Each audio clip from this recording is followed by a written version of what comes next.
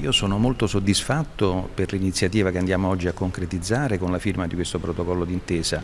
Eh, viviamo in un territorio di grande cultura e di grande coesione sociale e eh, in questo contesto ben si inquadra quello che andiamo oggi a concretizzare. Eh, consentire ai migranti richiedenti asilo un'attività di volontariato, permettere e pianificare un'attività di volontariato ehm, costituisce eh, secondo me un'occasione straordinaria di integrazione per queste persone che ovviamente in questa maniera possono partecipare attivamente alla eh, vita collettiva della nostra comunità compiendo lavori socialmente utili. Oggi firmiamo presso la Prefettura di Terni un importante protocollo d'intesa eh, grazie al quale i comuni che ospitano migranti e richiedenti asilo potranno chiedere loro di svolgere attività volontarie a favore della comunità. Le attività verranno definite in seguito, la nostra idea è di impiegarli per lo spazzamento delle strade e per la cura del decoro urbano. Non possiamo negarci che eh, il sentimento generalizzato delle persone spesso è un sentimento di disagio verso il fenomeno dell'immigrazione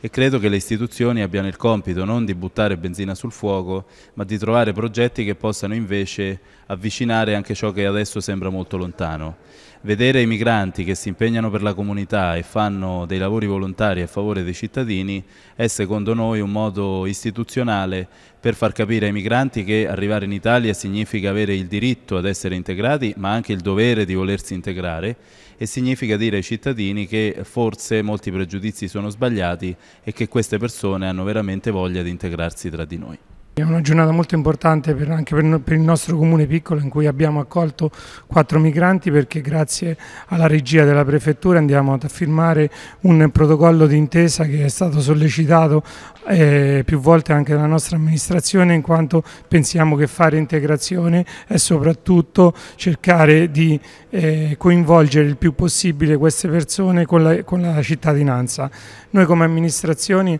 già avevamo messo in atto un... Um, un corso di italiano che è stato fatto presso eh, il comune di Lugnano e questo è stato un primo momento di approccio con queste persone che sono entrate in punta di piedi e si stanno mettendo a disposizione per la nostra comunità. Noi cercheremo di metterli in possesso di tutti gli strumenti idonei e soprattutto di eh, renderli eh, autosufficienti e mh, insieme alle persone del posto integrarli nelle attività culturali che faremo nel nostro Paese.